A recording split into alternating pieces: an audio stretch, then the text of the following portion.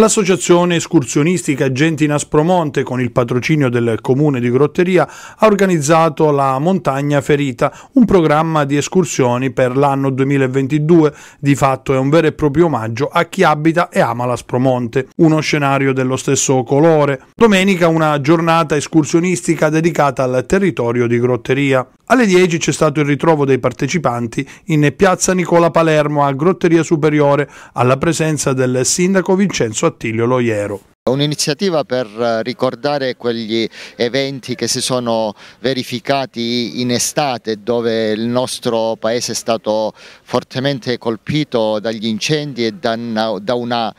da una vittima che c'è stata sul nostro territorio e oggi è il riscatto, il rilancio per poter eh, riscattare questo territorio e pensare che si possa veramente tornare al verde che c'era una volta. La mano dell'uomo è stata eh, pesante sul territorio perché si, si, si, è trattato allora di incendi eh, dolosi, ancora non si è accertato il motivo di questa brutalità perché eh, noi abbiamo un grosso problema, oltre agli incendi adesso abbiamo il problema del dissesto idrogeologico ci troviamo in un territorio dove è a forte rischio idrogeologico e qua eh, in questo eh, punto abbiamo fatto un consolidamento terminato da, da, qualche anno per la messa in sicurezza. Bisogna fare tantissimo altro, eh, diciamo, altre opere di messa in sicurezza, però eh, la natura, eh, dobbiamo dire eh, agli uomini che la natura è importantissima perché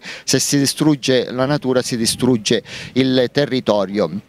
Con gente in Aspromonte avevamo pensato a questa iniziativa da diverso uh, tempo, poi è stata um, rimandata per uh, causa Covid, adesso oggi la facciamo anche eh, malgrado il maltempo, saranno messi a dimora um, degli alberi proprio in segno di, di rinascita e quindi qua dove sta, uh, stiamo realizzando anche un parco giochi che ancora deve essere eh, completato e eh, oltre a questa bella giornata ci sarà una visita escursionistica per visitare il nostro borgo, il nostro centro storico che è uno dei più antichi, dei più belli della Calabria dove ci insistono parecchi portali, parecchi palazzi eh, storici, tantissime chiese e quindi sarà una bella giornata eh, tempo eh,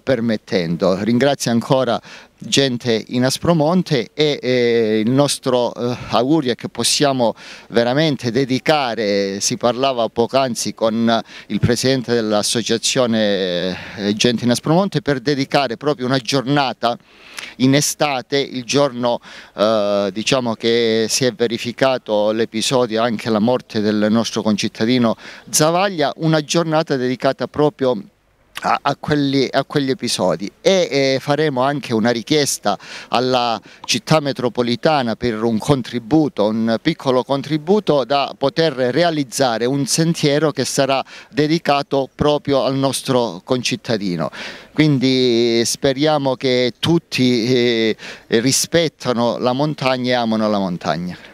Un evento che ha visto la messa in dimora di alcune piante di ulivi e poi successivamente tutto il gruppo è partito per un trekking urbano nel meraviglioso borgo di Grotteria Centro. È intervenuto Giuseppe Carbone, dirigente dell'associazione escursionistica Gente in Aspromonte. Noi abbiamo voluto ricordare eh, per eh, qui a Grotteria, in un borgo tipico della, della Ionica, eh, quello che è successo il 19 e il 20 agosto dell'anno 2021. Eh, un devastante incendio, probabilmente, anzi sicuramente di natura dolosa, ha raggiunto, ha lambito eh, le abitazioni del paese e ha distrutto ettere e ettere di vegetazione nella montagna eh, a, a monte del paese. Eh, quello che è successo è eh, vogliamo che non si ripeta più né a Grotteria né eh, in Italia né in nessun altro paese del mondo. Noi come associazione escursionistica Agenti Naspromonte abbiamo voluto dare oggi simbolicamente un segnale di sensibilità a questo problema e al problema della, diciamo, del mantenimento dell'ambiente e della diciamo, valorizzazione di ciò che ci circonda perché riteniamo che la simbiosi tra uomo e natura sia eh, l'aspetto più importante della vita umana. Eh, vogliamo, abbiamo scelto l'ulivo come pianta Mm, simbolicamente, uno perché la pianta è del, della pace e secondo motivo perché gli ulivi sono state le piante più devastate durante gli incendi del, dell'agosto 2021. Eh, noi riteniamo di portare avanti questo problema che eh, il problema della eh, preservazione dell'ambiente e la tutela dell'ambiente e non eh, a caso abbiamo intitolato quest'anno il nostro programma eh, La montagna ferita, un omaggio, alla, sì, un omaggio a chi ama e abita l'Aspromonte. Eh, intendiamo portarlo avanti, abbiamo oltre questa, questa zona avremo occasione di eh, vedere altre zone devastate, eh, ricordiamo le colonne del cielo di, del Serro di Acatti,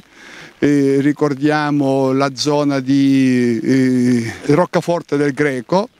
eh, e poi lo scenario spettrale anche a Rogudi, e abbiamo anche, anche, altre attività ormai che sono consolidate, che sono tipiche attività che l'associazione svolge ogni anno. Abbiamo anche la giornata dell'amicizia, la giornata del sentiero e altre giornate con cui portiamo avanti circa 30 appuntamenti quest'anno come negli anni precedenti. L'evento Gente in Aspromonte è proseguito poi con un'escursione ad Anello nella contrada Santa Femia di Grotteria. Insomma, una straordinaria occasione per vivere la montagna e per mettere in evidenza la vocazione escursionistica dell'Aspromonte.